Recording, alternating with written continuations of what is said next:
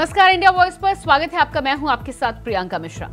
आने वाले लोकसभा चुनाव को लेकर उत्तराखंड की राजनीति दिलचस्प हो चली है। बीजेपी जहाँ दो सीटों पर प्रत्याशियों के नाम पर सस्पेंस बनाए हुए है तो वहीं कांग्रेस को अभी भी पाँचों सीटों पर प्रत्याशियों के नामों की दरकार है। जिसके बाद बीजेपी के लिए जहाँ पौड़ी और हरिद्वार सीट कशमकश वाली सीटें हैं तो वहीं सूत्रों का कहना है कि कांग्रेस में तमाम दिग्गज चुनावी रण में उतरने से इनकार कर चुके हैं, जिसके बाद कांग्रेस के लिए ये बड़ी चुनौती है कि आखिर किसे मैदान में उतारा जाए। कुल मिलाकर देखना यह है कि दोनों ही पार्टियाँ सीटों की इस गुत्थी को कितनी जल्दी सुलझा पाने में कामयाब हो पाती हैं। तो आज बात होगी उत्तराखंड की हॉट सीट कांग्रेस की पेंडिंग लिस्ट की, लेकिन उससे पहले दिखाते हैं एक रिपोर्ट।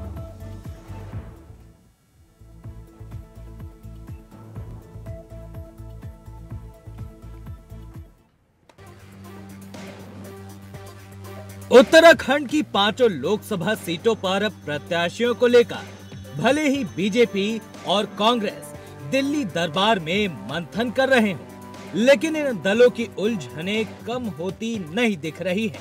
क्योंकि कांग्रेस के पास नेताओं की कमी दिख रही है तो भाजपा के पास दावेदारों की लिस्ट इतनी लंबी है कि किसे प्रत्याशी बनाए और किसे नहीं, इसको लेकर बीजेपी पशोपेश में है। वहीं उत्तराखंड की पाँचों लोकसभा सीटों पर प्रत्याशियों के चयन को लेकर कांग्रेस का मंथन दिल्ली में हो रहा है, जिसमें कभी भी प्रत्याशियों के नाम का ऐलान हो सकता है, जबकि भाजपा के लिए हरिद्वार लोकसभा सीट और पौड़ी लोकसभा सीट इस समय हाई प्रोफ़ाइल बनी हुई है, क्योंकि इन सीटों पर पार्टी के मौजूदा सांसद उत्तराखंड में पार्टी के बड़े चेहरों के रूप में जाने जाते हैं। और दोनों पूर्व मुख्यमंत्री भी जा चुके हैं। ऐसे में उनकी जगह किसी और को दावेदार बनाना पार्टी को जोखिम भरा भी दिख रहा है। लेकिन पार्टी सूत्रों की माने तो इस बार इन्हें दोनों ही सीटों पर पार्टी नए चेहरों पर दाव खेलना चाहती है। तो वहीं कांग्रेसी अभी भी जिताऊ और टिकाऊ प्रत्याशी की तलाश में जुटे हैं। हमारे यशस्वी प्रधानमंत्री मोदी जी कहते हैं 140 करोड़ लोगों का विकसित भारत दो तक बनेगा, ये 140 करोड़ लोगों का संकल्प है। तो उस संकल्प में जो इस पर सहमत है और उस संकल्प में सहयोग देना चाहते हैं, जो चाहते हैं कि दो में भारत विश्व का सबसे अग्रणी और विकसित राष्ट्र बने और उसमें उनका भी योगदान हो, वो सब मोदी जी की नीतियों से प्रभावित होकर, नेतृत्व से प्रभावित होकर भारतीय जनता पार्टी में आ रहे हैं और हम सबका खुले दिल से स्वागत कर लोकसभा में जो भी सांसद रहे हैं या जो भी प्रत्याशी रहे हैं जिला अध्यक्षों से सभी से वन टू वन बात की और पूरा फीडबैक लेने का काम किया। उससे उन्होंने केंद्रीय नेतृत्व को भी अवगत कराया और जो प्रत्याशियों के दावे हैं, उनका मिलान जो है सर्वे की रिपोर्टों से भी किया जा रहा है। तो निश्चित तौर पर जो जनता के बीच लोकप्रिय होगा, जो भाजपा को हराने में सक्षम होगा और जिसकी जीत की गारंटी होगी निश्चित तौर पर ऐसे ही प्रत्याशियों को पार्टी जो है लोकसभा में टिकट देगी। और अब बहुत से लोग जो है टिकट के लिए अपनी लॉबिंग कर रहे हैं, दावेदारी कर रहे हैं, वो उनका नैतिक अधिकार भी है, लेकिन पार्टी की उम्मीदों पर जो खड़ा होगा, उसी को टिकट देगा। उत्तराखंड की पाँचों लोकसभा सीट इस समय सियासी दलों के लिए हॉट सीट बनी हुई है, क्योंकि उत्तराखंड की इन पाँचों लोकसभा सीटों पर जीत का संदेश देश के दूसरे राज्यों पर प्रभाव डालता है। इसलिए बीजेपी, जहाँ पौड़ी और हरिद्वार सीट पर प्रत्याशियों को लेकर मंथन कर रही है तो वहीं कांग्रेस पार्टी भी अपने लिए जिताऊ और टिकाऊ प्रत्याशियों की तलाश करने में जुटी हुई है। इंडिया वॉइस के लिए देहरादून से अभय कैंतुरा की रिपोर्ट।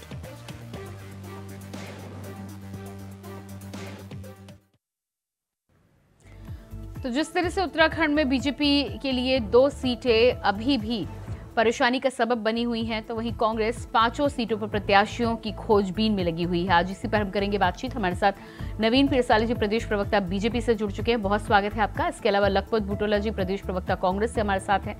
आपका भी बहुत बहुत स्वागत है। और रविन्द्र सिंह आनंद जी, वरिष्ठ नेता, आम आदमी पार्टी से हमारे साथ हैं। बहुत स्वागत है आपका।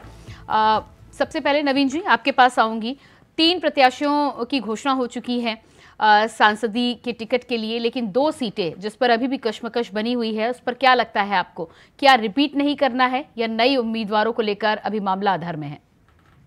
देखिए, ये ये सब्जेक्ट केंद्रीय समिति का है, चुनाव समिति का है, वो किस सीट पर किसको टिकट देगी, लेकिन जैसे कि आपने देखा, पहली लिस्ट जारी हो चुकी है और उसके मुताबिक तीन सीटें उत्तराखंड की क्लियर हो चुकी है और आज भी थोड़ी देर बाद एक बैठक दिल्ली में केंद्रीय चुनाव समिति की होने जा रही है, जिसमें और भी नामों पर चर्चा होगी और अन्य जगहों पर जो सीटें तय होनी है, वो भी होंगी। तो कह सकते हैं कि बहुत जल्दी ही भारतीय जनता पार्टी की दूसरी लिस्ट भी तैयार होगी। भारतीय जनता पार्टी हर सीट को और हर बूथ को जीतने के लिए महामंथन कर रही है। आप देख रहे हैं कि भारतीय जनता पार्टी का जो कैंपेन है कश्मीर से लेकर कन्याकुमारी तक शुरू हो चुका है और सभी कार्यकर्ता दिलोजान से मोदी जी को फिर से सत्ता में भेजने के लिए और भारतीय जनता पार्टी को चार सौ पार करने के लिए दिन रात काम कर रहे हैं और प्रदेश की जनता देश की जनता अपना आशीर्वाद देने के लिए मतदान वाले दिन का इंतज़ार कर रही है। जिस तरह से नवीन जी जानकारी यहाँ पर ये निकल कर आ रही है कि पूर्व मुख्यमंत्री तीरथ सिंह रावत और रमेश पोखरियाल निशंक को रिपीट नहीं किया जा रहा है तो कितनी पुख्ता है ये खबर? क्या रिपीट किया जा सकता है? देखिए मैंने कहा कि it is subject of central leadership केंद्रीय नेतृत्व का और केंद्रीय चुनाव समिति का विषय है उस पर जो लिस्ट आएगी उसके मुताबिक और उसके बाद ही बात की जा सकती है। अभी तो देखने वाली बात है। नहीं लेकिन उत्तराखंड में नवीन जी कोई बहुत सीटें तो है नहीं। पाँच सीटें हैं पाँच में से तीन पर घोषणा आ जाती है और दो यदि होल्ड की जाती है तो इसके पीछे कुछ तो चल रहा होगा ना? नहीं बहुत सारे राज्यों में आप देखते हैं कि आप यहाँ देख सकते हैं अगर पाँच परसेंट सीटें हमने पाँच सीटों में सिक्सटी परसेंट हमने यहाँ तक घोषित कर दी है। और राज्य में भी कांग्रेस की तो अभी लिस्ट भी नहीं आई है। तो आप देख सकते हैं कि तीन सीटें उत्तराखंड की डिक्लेयर हो चुकी हैं। दूसरी सूची का इंतज़ार है उसको हो सकता है नहीं तो तीसरी सूची सूचियाँ आती रहेंगी और ये सब क्लियर होता रहेगा। तो आप देख सकते हैं कि हमारी तैयारी पूरी तरह से और हमारी जो चुनाव समिति पूरी तरह से इस पर ध्यान देनी है। हम्म, ठीक है। रविंद्र जी आ, आम आदमी पार्टी की बात करें तो कितनी तैयारी है? दूसरी तरफ़ भारतीय जनता पार्टी और कांग्रेस में जो भी स्थितियाँ उत्तराखंड में बनी है उनको लेकर आपका क्या कहना है? देखिए प्रियंका जी आ, आम आदमी पार्टी की जहाँ तक बात है तो मुझे ऐसा लगता है जो अभी तक दिशा निर्देश प्राप्त हुए हैं हम्म। उनको देखते हुए ऐसा लगता है कि आम आदमी पार्टी उत्तराखंड में गठबंधन के साथ जाएगी और दूसरी बात यह है कि जो आपने बीजेपी और कांग्रेस की बात की देखिए भारतीय जनता पार्टी और कांग्रेस किसको टिकट देगी ये उनका इंटरनल मामला हो सकता है अपना डिसीज़न हो सकता है बहरहाल हम ये ज़रूर कह सकते हैं कि जो इनके पूर्व जो मतलब जो वर्तमान में अभी सांसद हैं जो पिछली बार सांसद जीत के आए हम्म। उन्होंने अपनी निधि तक खर्च नहीं की अगर हम माला राज्य लक्ष्मी शाह जी की बात करें जो टिहरी से सांसद हैं अगर हम तीरथ सिंह रावत जी की बात करें पौड़ी से जो है ये सब फिसड्डी सांसद हैं देश की फिसड्डी सांसदों की लिस्ट में है ये। ये नवीन पेशारी जी को भी मालूम होगा आपको भी मालूम होगा। ये लोग अपने क्षेत्र के लिए अपनी जनता के लिए केंद्र द्वारा जो इनको फंड मिला उस, उसको तक खर्च नहीं कर पाए। नहीं मांग तो ये क्या करते? तो ये कहा जा सकता है कि देखिए मुखोटा जो उत्तराखंड में मिलता रहा है अभी तक हम कह सकते हैं कि टीरी से या और सीटों से भी हमें हम्म। कुछ ऐसा कोई चेहरा नहीं मिला। जिसको विपक्ष भी कह सके कि हाँ भाई इन्होंने जनता के लिए काम किया है। ये बात मैं आम आदमी पार्टी के नेता होने के नाते नहीं वरन एक उत्तराखंडी होने के नाते कह रहा हूँ कि जो वर्तमान में पाँचों सांसद हैं ये अपनी सांसद निधि तक खर्च नहीं कर पाए। नवीन जी इस पर जवाब दीजिएगा। शर्म की बात है हमारे लिए। ये हमारे लिए भी शर्म की बात है। जो भी ये बात कह रहे हैं हम्म। वो बिल्कुल निराधार है। आप देख सकते हैं कि किस प्रकार से इनकी पार्टी जी आप आप आंकड़े नहीं देखते हो मुझे आपको टोकना पड़ेगा बीच में। आप बिना तैयारी के बैठ जाते हैं डिबेट में आपको आंकड़े ही नहीं मालूम। आप देखिए पौड़ी के जो आपके सांसद है कितने पैसे कितना पैसा खर्च कर पाए हैं? निशान जी कितना पैसा खर्च कर पाए हैं? देश अजय समझा जी कितना पैसा खर्च कर पाए कितनी नदी अपनी खर्च पाए हैं? आप कम से कम यार आंकड़े लेकर के बैठा करो डिबेट में बैठते हो एक ऐसी पार्टी का प्रतिनिधित्व करते हो जो विश्व में नंबर एक कहलवाती है। और फिर आप ऐसी बात करते हो बिना तैयारी के आप आ जाते हैं बड़ी शर्म की बात है। मुझे लगता है डिबेट में बैठते हो तो कम से कम आंकड़े को लेकर के बैठा करो यार। लेकिन खुद ही टकरा गए और चूर चूर हो गए। तो आप देख सकते हैं कि किस प्रकार से विपक्ष यार कम से कम आंकड़े लेके बैठे मैं आपको आंकड़े दिखाऊँ भी। इसकी चुनावी तैयारी नहीं है आंकड़े दिखाऊँ? ये केवल केवल और केवल चर्चा में आने के लिए तरह तरह की बयानबाजी चाहे कांग्रेस हो चाहे आम आदमी पार्टी हो चाहे पूरी गठबंधन बनाया बयान आ रहे हैं। तो तो नहीं। लेकिन नवीन जी नवीन जी नवीन जी नवीन जी रविंद्र जी आम आदमी पार्टी के तो साथ ही साथ उत्तराखंडी होने के नाते भी शिकायत कर रहे हैं। आपकी पार्टी के सांसद हैं। तो सवाल सुन के उसका जवाब देना तो आपका कर्तव्य बनता है दोबारा जा, जाने वाले लोकसभा चुनाव में। जी रविंद्र जी अपनी बात आप पूरी रखें पहले। देखिए मैडम मैंने ये बात पहले भी कही कि मैं पार्टी होने के नाते नहीं वरन के उत्तराखंडी होने के नाते इस बात को बड़े दुख के साथ कह रहा हूँ हम्म। कि जो हमारे सांसद पाँचों के पाँचों सांसद रहे वो सांसद हमारे भी हैं खाली नवीन पिछाली या भाजपा के सांसद नहीं है। पहले इस बात को समझे। पहले नवीन पिछाली इस बात को समझे वो सांसद हमारे भी हैं उत्तराखंड में नहीं और वो आज तक पैसा खर्च नहीं कर पाए। और ऊपर से आप बिना आंकड़े लिए बिना नॉलेज। लिए चैनल पर बैठ जाते हैं और फिर बीच में भी बोलते हैं ये बड़ी दुख की और शर्म की बात है मुझे लगता है आपको तैयारी करके आना चाहिए पिछाली मैं घर से तैयारी करके आया कीजिए। है। बिना तो तैयारी के चैनल पर है बैठना मुझे नहीं लगता आपको शोभा देता रहे हैं और हमारी सत्ता से दूरी बढ़ गई है तो निराश होकर केवल और केवल भारतीय जनता पार्टी को कोसने का काम कर रहे हैं। मैं इनको ये नसीहत देना चाहता हूँ कि भारतीय जनता पार्टी की जो भारतीय जनता पार्टी को कोसा करते तो भारतीय जनता पार्टी के कसीदे पड़ते दिखाई दे रहे हैं। नहीं लेकिन रविंद्र जी रविंद्र जी ठीक है चुनाव में अब ज़्यादा समय नहीं है। एक माह के भीतर अप्रैल माह में चुनाव होने होंगे। मार्च में हो सकता है ऐलान हो जाए बहुत ही जल्द। यदि आप इसकी बात करते हैं तो पाँच के पाँच सांसद जीते थे। जनता ने अपना भरोसा जताया था और भारतीय जनता पार्टी के लिए ये ज़्यादा बड़ी चुनौती है जो आप बात कह रहे हैं। दूसरी बात, यदि मैं आपके गठबंधन पर आती हूँ तो आपने कहा है कि आप गठबंधन के साथ जाएँगे। तो क्या एक भी सीट आपको मिलेगी या पाँचों की पाँचों सीटों पर कांग्रेस ही आगे रहेगी? देखिए, प्रियंका जी, इस पर निर्णय लेना केंद्रीय नेतृत्व का काम है। इस पर मैं बहुत ज़्यादा कुछ नहीं कह सकता हूँ। क्योंकि ये हमारा केंद्रीय नेतृत्व तय करेगा कि उत्तराखंड की पाँचों की पाँचों सीट पर तो आप गठबंधन के साथ है तो इसका मतलब आप अपना प्रत्याशी नहीं उतारेंगे? देखिए मैंने अभी तक कहा ना आपको कि अभी तक जो हमें दिशा निर्देश प्राप्त हुए हैं उसमें तो ऐसा ही दिखाई दे रहा है कि हमारा कोई प्रत्याशी नहीं उतरेगा। हम्म। लेकिन यदि ऊपर से कोई ऐसा हमें आदेश या निर्देश मिलता है तो हम अपन, हम लड़ने के लिए तैयार हैं। हम्म। जी प्रियंका ठीक है तो इसका मतलब है आप प्रत्याशी नहीं उतारेंगे। वैसे भी पहले भी जब आपने प्रत्याशी उतारा है तो कुछ खास फ़ायदा आपको हुआ नहीं है। मुझे लगता है कि कांग्रेस पाँच की पाँच सीटों पर जब उम्मीदवारों का चयन कर रही है कांग्रेस को लेकर क्या लगता है आपको? अभी तक प्रत्याशियों के नामों का ऐलान हुआ नहीं। जब गठबंधन पर कोई पेज फंसा नहीं है सीट शेयरिंग का कोई फॉर्मूला नहीं है एक अ, माह के बाद में चुनाव होने हैं कुछ ही दिनों में चुनाव की तारीखों का ऐलान हो जाएगा तो फिर इतनी देरी क्यों? देखिए प्रियंका जी जहाँ तक टिकट वितरण का या नाम सामने आने की बात है तो देखिए कांग्रेस निश्चित तौर पे बड़ी पार्टी है भारतीय जनता पार्टी भी बड़ी पार्टी है। जब इतनी बड़ी पार्टी होती है तो कई नाम जाया करते हैं और सभी नामों पर नहीं जानकारी तो ये भी है रविंद्र जी की तमाम दिग्गजों ने चुनाव लड़ने से ही इनकार कर दिया है। देखिए ये एक मेले की तरह होता है। मैं आपको बता दूँ जो लोग मना कर रहे हैं ना वही आपको सबसे आगे नाचते हुए दिखाई देंगे। चुनाव में जिन लोगों ने मना किया है ना, हरीश रावत जी यशपाल आर्य जी, इनका नाम देखिएगा, इनका नाम ही लिस्ट में आना है। इन्हीं का नाम लिस्ट में आना है। ये मना इसलिए करते हैं कि अपनी मोनोपोली चला सकें, अपनी बात को मनवा सकें, लेकिन जब इनको आदेश, निर्देश मिल जाएँगे तो सबसे पहले नाचते हुए यही जाएँगे।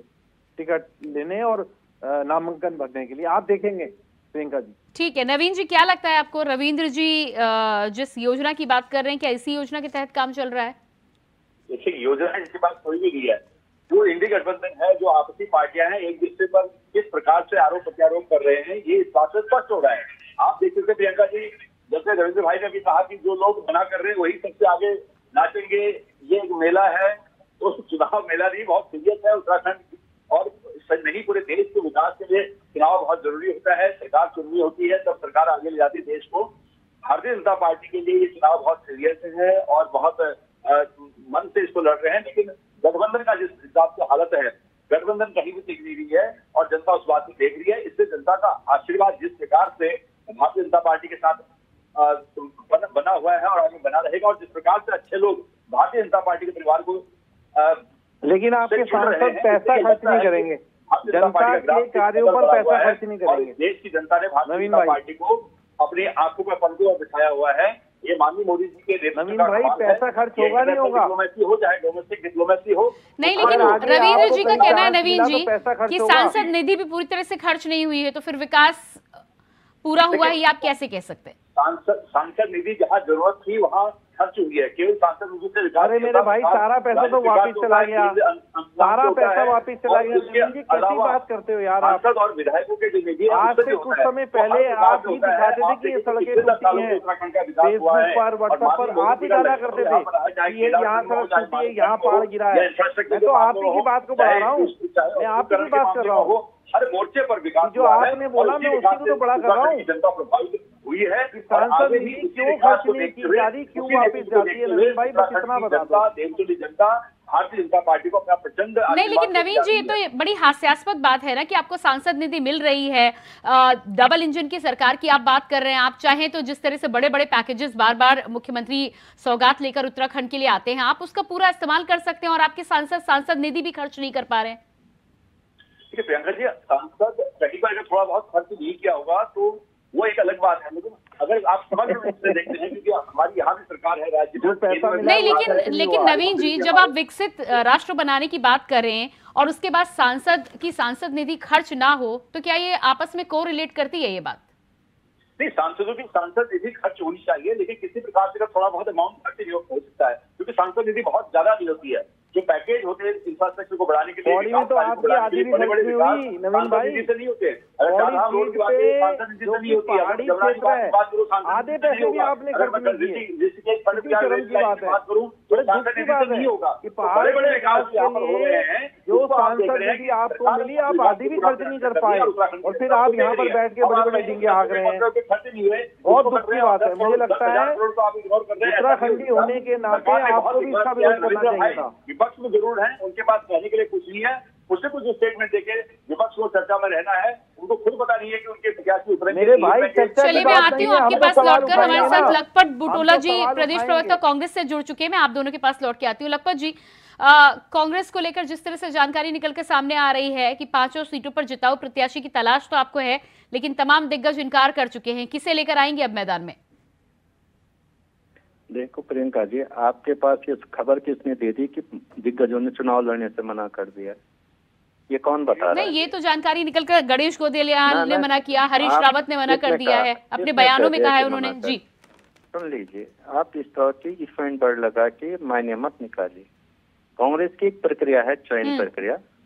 पार्टी प्रत्येक लोकसभा से तीन तीन नामों को लेके जा रही कहीं चार है कहीं पाँच है, लेकिन मिनिमम तीन लोगों के नामों को ले जाए उस पर सर्वे होता है इंटरनल सर्वे कार्यकर्ताओं की सुनी जाती है, ब्लॉक स्तर से सुना जाता है, जिला स्तर से सुना जाता है पीसीसी सुनता है, ये आईसीसी के जो मेंबर होते हैं, वो सुनते हैं। हमारे जितने फीडबैक होते हैं, उसको लेकर के कैंडिडेटों का पिछली बार का रिकॉर्ड क्या रहा है सारी चीज़ें देखी जाती है। और उसको लेके पैनल बन चुका है, बहुत जल्दी आपके सामने कैंडिडेट पार्टी डिक्लेयर करेगी और हमारे जो बहुत सम्मानित जो हमारे नेतागण हैं वो चुनाव लड़ेंगे और जीत के उत्तराखंड में आएँगे। नहीं तो आ, आपके नेता जब कयावत कहते हैं कि वो चुनाव नहीं लड़ना चाहते तो जनता उसका क्या मतलब तो, निकाले? आप ही बता दें। हम सुन लीजिए मैं आपसे कह सकता आप भाजपा के पास हम किसी पे आपने हमसे कहा लेकिन भाजपा के पास पाँच सांसद थे पाँच में से दो की टिकट डिक्लेयर नहीं हो पाई। उनके तो सांसद है यहाँ पे तो उन्होंने तो अभी तक तो कोई ऐसी बात नहीं। कांग्रेस एक लोकतांत्रिक रूप है तो पार्टी जिसको भी आदेश करेगी। सारे नेता ये कह चुके हैं पार्टी जो आदेश करेगी, वो आदेश माना जाएगा और उस आदेश के हिसाब से तन मन धन से चुनाव लड़ाएँगे और जीतेंगे, क्योंकि इस देश के अंदर कांग्रेस को इस राष्ट्रवाद को मज़बूत करना है हिंदुस्तान को मज़बूत करना देश को मज़बूत करना समृद्ध करना तो कांग्रेस को लाना ज़रूरी है। हम्म। मैं ये कह सकता हूँ। और जो राष्ट्रवादी लोग हैं जो हिंदुस्तान के इस देश के एक जो आत्मा उसके साथ जो लोग हैं जिस जिसको जिस जिन्होंने ये संविधान बनाया इस संविधान की रचना की लोकतंत्र दिया इस देश को एक मज़बूत ढांचा दिया वो कांग्रेस पार्टी है। और आज उसको खंड खंड करने की बातें की जाए तो कांग्रेस का कोई नेता तो छोटे कार्यकर्ता भी क्यों पीछे रहेगा? कार्यकर्ता ये कांग्रेस कांग्रेस देश के लिए सोचती है। ये अपने लिए नहीं सोचती नहीं तो लखपत बुटेला जी अगर सब कुछ इतना ही ठीक है तो आपको नहीं लगता कि आप बेवजह देरी कर रहे हैं प्रत्याशियों के नामों का ऐलान को लेकर? उत्तराखंड में तो सीट शेयरिंग को लेकर भी कोई फॉर्मूला नहीं फंसा आपका। आ, आ, आ, एक मिश्रा जी आप बता दीजिएगा। आपको क्यों लगता है क्या आचार संहिता लग गई है? क्या कोई मानक है कि कब कैंडिडेट घोषित किया नहीं तो आप आप, आप क्या इंतज़ार करेंगे क्या आचार संहिता का? उपचुनाव में भी आपके प्रत्याशियों हम- ने हम पहले से ही हार मान ली थी। हम हम हम कौन कह रहा हार मान ली थी? कितने चुनाव से आप एक चीज़ बताएँ? उत्तराखंड में बातें कैसे लखपत बुटोला जी उत्तराखंड में आपकी आपकी पार्टी के नेता ही कहते नहीं नज़र आए थे कि हाँ हम चुनाव नहीं जीत पाएँगे। आप प्रियंका जी हम्म। आपके पास रिकॉर्ड है। उपचुनाव कितने वोट से हारे हम? बता दीजिए। मुख्यमंत्री वोट तीन दिन पैसे वोट का डिटेल। लखपत जी हो या ना हो हाँ, लेकिन आपके प्रत्याशी ने ये बोला था कि नहीं? ये गलत बात हाँ। ये गलत बातें मत कहिए आप लोग समझिए लीजिए। नहीं गलत बातें मैं नहीं कह रही हूँ ऑन रिकॉर्ड ऑन रिकॉर्ड हाँ, बयान सुनने के बाद में कह दिखा रही दीजिए हूँ। दिखा दीजिए। दिखाए मुझे रिकॉर्ड? हाँ मैं आप मैं रिकॉर्ड आप, दिखा दीजिए। मैं आप तक पहुंचवा दूँगी नवीन जी जवाब दीजिएगा इस पर। ये ये नहीं नवीन जी पे मत जाइए आप दिखाइए। ये आप कह रहे तो आप दिखाइए। और ये ये जो आरोप आप लगाते हैं अपनी मन गलत बातें मत कहिए। आप सही चीज़ों को एनालाइज कीजिए कांग्रेस समझ के चालीस साल में तीस सेकेंड होगा आप लोग पहले से कह रहे थे तीस सेकेंड मैं एक चीज़ कह सकता हूँ प्रत्येक पार्टी की चयन प्रक्रिया की चयन की प्रक्रिया है चयन की प्रक्रिया के हिसाब से कांग्रेस अपने कैंडिडेटों को लेकर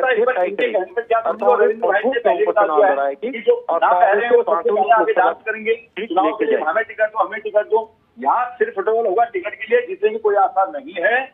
और कांग्रेस के में जितने भी नेता हैं सबको लग रहा है सब कह रहे हैं पीछे पीछे कि भाई खड़े होके कोई फ़ायदा नहीं है। इस बार हार होनी है पिछली बार भी हारे थे इस बार भी हारेंगे। पैसे की बर्बादी है। इनके नेता कह चुके हैं कि हमारे पास पैसा भी नहीं है। सब रो, जो रोना रो रहे हैं वो बहाना कर रहे हैं कि चुनाव से कुछ जी लखपत बुटोला जी जवाब दीजिएगा। किनारा कर मुझे इनको कही ये ये कहेंगे तो मैं कह दूँगा। सुन लीजिएगा। अब ये भाजपा के पास कांग्रेस के लोग चिट्ठी देते हैं इनके पास हम चुनाव नहीं लड़ेंगे इनके प्रदेश कार्यालय इनके पास ये नीचे दे दी जाती है। अरे अपने घर में देखे। मैं कह रहा हूँ आप सुन लीजिए। आप अपने कहिए हो ये तो आप आपके इनके अरे सुन तो लीजिए। हरीश रावत जी इनको सुनवा दीजिए। तब इनको सुन तो लीजिए। होगा कि आपके नेता खुले आम टीवी पर बोल रहे हैं कि हमारे पास हमारे पास पैसा नहीं है हमारे पास अरे हिम्मत नहीं है चुनाव लड़ने की हम चुनाव नहीं लड़ सकते ठीक है। नवीन जी जवाब सुनिएगा। नवीन जी बात सुन लीजिएगा लखपत जी जी। नवीन जी आप बहुत प्रभुत प्रवक्ता है पूरी मेरी बात को सुन लीजिए। मैं ये पूछना चाह रहा क्या भाजपा को चिट्ठी दी है? भाजपा कौन कांग्रेस में इतना घुसते हैं आप? आप अपना देखिए क्यों इतनी टेंशन कांग्रेस के लोगों लेते हैं?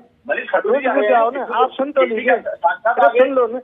कांग्रेस से चिट्ठी हमें कांग्रेस की चिट्ठी की ज़रूरत नहीं है। कांग्रेस के नेता आ चुके हैं मनीष खंडूरी जी आ चुके हैं। और ये केवल उत्तराखंड में नहीं राजस्थान मध्य प्रदेश अरे जगह पर देश में सिलसिला जारी है। यार इन्हीं का रिकॉर्ड बजाते रहिए व्यक्तिवाद और वंशवाद की राजनीति रिकॉर्ड बजाते रहिए। दूसरे नहीं सुना इन्हीं का बजाइए पे। तो एक तो मैं से जुड़ा हूँ ऊपर से इनको है, बजाते जा रहे हैं। है। पार्टी नवीन जी नवीन जी नवीन जी मौका दीजिएगा। लखपत जी को अपनी बात हाँ, रखने का मौका दीजिएगा। जी। बिल्कुल अपना प्रभुत्व प्रवक्ता है सुन तो लीजिए। हम्म। बात को सुनिए ना मैं ये आपकी बातें सुन तो ये कह रहा हूँ नहीं मैंने आपसे कह दिया है कि एक पार्टी की सिस्टम है कांग्रेस समय आने पे हमारे जो कैंडिडेट होंगे, वो सबके सामने होंगे सब चुनाव लड़ेंगे। एक एक कार्यकर्ता, मैंने कहा, आज चुनाव महत्वपूर्ण इसलिए हो गया है इस देश को संविधान बचाने के लिए इस देश के लोकतंत्र को बचाने के लिए इस देश की समृद्धि के लिए इस देश के नौजवानों के भविष्य के लिए इस देश को संगठित करने के लिए इस देश में भाईचारे के लिए आज ये चुनाव बहुत महत्वपूर्ण हो चुका है प्रियंका जी। और इसलिए कांग्रेस का एक एक कार्यकर्ता और देश के जनमानस इसको लेकर के चुनाव लड़ेंगे। राष्ट्रवाद के लिए देशवाद के लिए देश के हित में ये चुनाव कांग्रेस का और ये जीतना बहुत महत्वपूर्ण है। भारतीय जनता पार्टी तो इन्होंने पहले भी अंग्रेज़ों की गुलामी की इस देश का अंग्रेज़ों के साथ है हिंदुस्तान को तोड़ने का काम किया पाँच सौ पैंसठ यादवों को मिला के हिंदुस्तान बनाया नहीं गया लेकिन लखपत बुटोला जी अगर आप कह रहे हैं कि आपके लिए चुनाव इतना महत्वपूर्ण है तो आपको नहीं लगता आपको तैयारी और पहले से शुरू करनी चाहिए? महत्वपूर्ण आचार संहिता का इंतज़ार करने की क्या आवश्यकता है? तो हम इंतज़ार इसीलिए हम कह रहे हैं कि देश के लिए चुनाव महत्वपूर्ण है। कांग्रेस के लिए देश के लिए कांग्रेस महत्वपूर्ण है। और इसलिए हम बहुत सोच समझ के लोगों का कैंडिडेटों का चयन करें हमारी जवाबदेही है देश के लिए। उस जवाबदेही को लेकर के हम पूरे तो लखपत जी उसका फैसला आप जनता पे छोड़िए ना आप अपनी तैयारी कीजिए ना प्रत्याशी सामने आएँगे तब तो जनता आपको पूछ आपको आपको तो पूछ के तैयारी बूथ स्तर पे होती है। नहीं नहीं मुझे जाती पूछ के तैयारी मत कीजिए बस चुनाव के बाद ये मत कहिएगा कि कमी रह गई तो फिर मंथन करने की ज़रूरत है। काम है एंकरिंग करना आप ये मत समझाए चुनाव कैसे लड़ा जाएगा ये मत समझाए कैंडिडेट कैसे घोषित होंगे। लखपत बुटोला जी मैं आपको क्यों। समझाऊँगी? लेकिन लेकिन हाँ, आपकी पार्टी में हर बार चुनाव के बाद कि में हर बार चुनाव के बाद में ये बयान आता है की नहीं आता है तो हमें कमी रह गई मंथन करने की ज़रूरत है। अभी विधानसभा के चुनाव आपने देखे आप- हैं। समझिए जैसे देश के लिए कांग्रेस महत्वपूर्ण है राष्ट्र के लिए महत्वपूर्ण है राष्ट्रवाद के लिए महत्वपूर्ण है हम्म। इसलिए ये ये जो पार्टी देश में है जो खंड खंड हिंदुस्तान को करना चाहती संविधान को नहीं मानती थी संविधान को तोड़ना चाहती तिरंगे को नहीं मानती थी दो जी, 2000 में final तिरंगा comment नहीं दीजिएगा। पहनाते थे ऐसे लोगों को सत्ता से दूर करना हिंदुस्तान से दूर करना है और देश से इन लोगों को भगाना बहुत ज़रूरी है वरना हिंदुस्तान की जो अखंडता है हिंदुस्तान का जो भाईचारा है हिंदुस्तान में जो विकास कर देते हैं उसको ये खंड खंड करेंगे और उसको तोड़ेंगे। नहीं ठीक है बिल्कुल ठीक है लेकिन उसके लिए लखपत जी अपने स्तर पर काम करना भी ज़रूरी है रविंद्र जी। पाँच सेकेंड लीजिएगा फाइनल कॉमेंट देखिए जहाँ तक प्रत्याशियों की बात है चाहे बीजेपी हो कांग्रेस हो या कोई भी दल हो देखिए प्रत्याशी तो उतर ही जाएँगे लेकिन सवाल ये बनता है कि भारतीय जनती जनता पार्टी द्वारा जो पाँच सांसद दिए गए थे और जनता ने जिता करके भेजा था उन्होंने अपनी सांसद निधि आज तक खर्च नहीं की। बहुत सी सीटों पर तो आधी भी खर्च नहीं हुई। तो ये बहुत ही शर्म की और दुख की बात है। मुझे लगता है जनता को ऐसे सांसदों को अब की बार ऐसे चेहरों को ज़रूर मज़ा ठीक है बहुत बहुत धन्यवाद आप सभी का। नवीन जी लखपत बुटोला जी और रविंद्र जी बहुत बहुत धन्यवाद जुड़ने के लिए। तो जिस तरह से उत्तराखंड में भारतीय जनता पार्टी की दो सीटों पर अभी भी कश्मकश अ, बरकरार है तो वहीं कांग्रेस को पाँचों प्रत्याशियों की दरकार है। अब देखना यह है कि कांग्रेस कितनी जल्दी अपनी इस खोज को पूरा करती है क्योंकि जनता के सामने जब प्रत्याशी जाएँगे तब जनता डिसाइड करेगी कि आखिर भारतीय जनता पार्टी और कांग्रेस में से किसको चुनना है और किसको सत्ता की चाबी थमानी है। फ़िलहाल हमारे इस खास कार्यक्रम में इतनी ही खबरों के लिए बने रहिए इंडिया वॉइस के साथ। मुझे दीजिए इजाज़त। नमस्कार।